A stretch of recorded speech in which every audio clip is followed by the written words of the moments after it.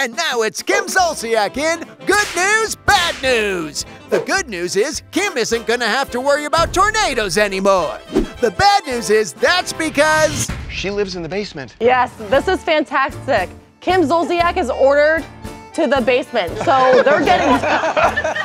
she is. They're selling their house, so the judge said to keep the peace in the house that Kroy gets the primary bedroom and that Kim Zolciak gets the basement and the nanny suite. So, Emma, does she sleep in the basement? Yes. Jeez, hopefully the basement is more fun rec room and less it puts the lotion on its skin.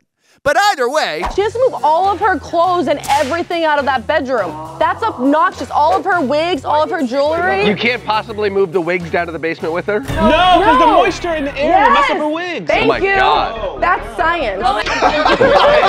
that is. That's science. Yes. Wow, science sure is dumb these days. Point is, things are gonna be awkward at the Casa de Kim and Kroy. Somebody's gonna call the cops. She's in my bathroom. Because wouldn't you just like hold yourself over the line? Oh no, I'm not.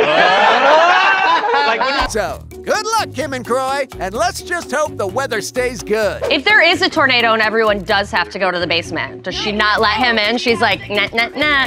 She has to get permission to cross the line. I'd be like, die. Jeez, that got dark real quick. Divorce is more fun when you split your house up like an old time sitcom. Goodbye, everybody!